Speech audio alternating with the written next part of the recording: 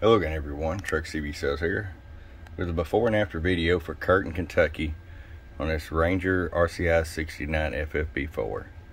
Kurt, you sent this over to me. Um, I didn't ask where you got it uh, or anything. You just explain, explained to me that it seemed to be off frequency when keyed up on AM and sideband and, and it didn't have the modulation the other radios I provided you with had. Now sometimes these counters will drift, but when the radio's set up right, they won't drift very much. Um, the 69 series is, is known for a slight amount of drift, uh, no matter you know what you do to try to prevent it. There I am keying up, 250 watt slug. It's keying almost 200 watts, dead key wide open. Hello, swinging backwards to 125.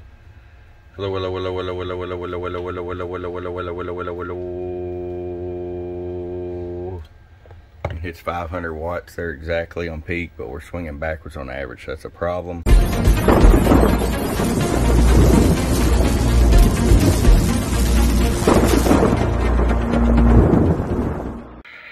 Alrighty, and we're back. Kurt, we got it all fixed up for you here. Our tune alignment, amp on off switch on the back, Toshiba voltage regulator upgrade, and it's ready to go.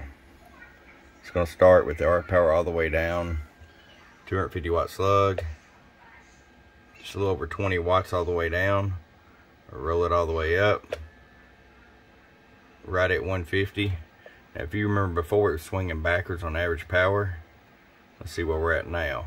Low, low, 250 watts of bird average power. 1000 watt slug in PEP. Hello.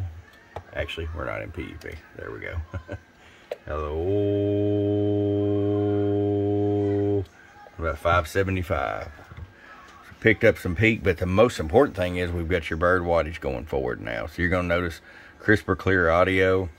Um, you're going to get a lot better reports, AM and sideband. All right, Kurt, it's ready to come to you, bud. I hope you enjoy it. For your friend Truck at truckscbsales.com. Bye-bye.